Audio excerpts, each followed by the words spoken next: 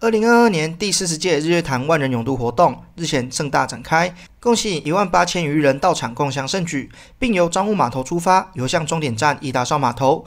万人泳渡啊，啊，大概有一一万八千多位选手泳将来参加哈，啊，大家哈冒着风雨啊来参加这个比赛，现场非常的感动哈，啊，我们风雨生信心呐，啊，虽然呢下雨啊，但是呢。啊对我们的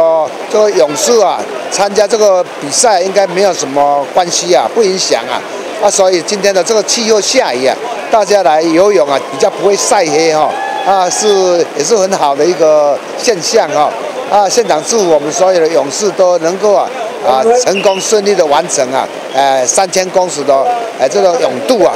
泳客也指出，虽然一开始担心受到台风影响，但也做好完全的准备，包括泳衣等等都有特别前往购买。之前也是蛮担心，就是会没办法举办啦。然后因为想说在潭里游，而且大家都有鱼雷浮标，所以整个过程应该是蛮安全的。反正都是要湿的嘛，所以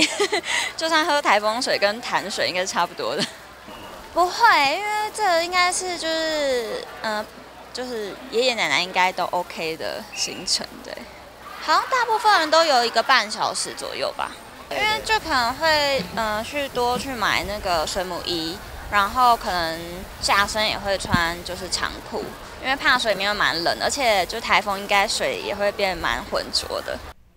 新月梦抽出肯定主办单位的用心，也希望只有举办这样的活动，除了可以延续优良的传统以外，也为地方带来观光经济发展。啊，所以呃，这一次的报名的人数也非常的踊跃哈，有一万八千人啊。这一次也是在呃举办我们万人泳渡有四十届的一个历史哈啊，所以大家都非常的期待我们的每年的一个万人泳渡啊。在这一次的万人泳渡哈，也呃大家都非常的期待之后哈啊，也能够带到我们的呃经济的发展哈啊，在我们的周边的呃住宿的这个住住宿的几率哈，非常的踊跃哈，所以在呃前两三个月就已经都已经额满了哈啊，所以在呃我们县政府办这个万人泳渡，能够带动我们的地方的经济的发展以及成长。